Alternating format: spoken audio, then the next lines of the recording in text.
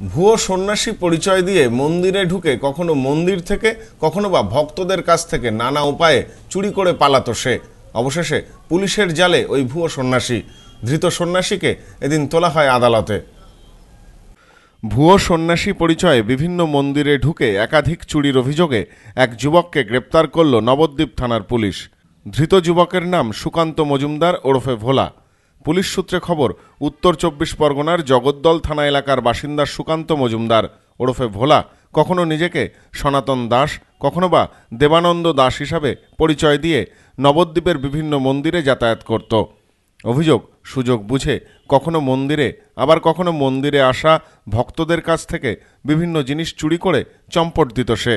অভিযোগ, দীর্ঘদিন একের পর এক চুরির ঘটনায় নবদ্বীপ থানায় একাধিক অভিযোগ জমা পড়লেও অভিযুক্তকে খুঁজে পাচ্ছিল না পুলিশ। কিন্তু রবিবার বিকেলে নবদ্বীপের একটি মন্দিরে ওই ভুয়ো সন্ন্যাসীকে দেখে চিনতে পারেন এক ব্যক্তি।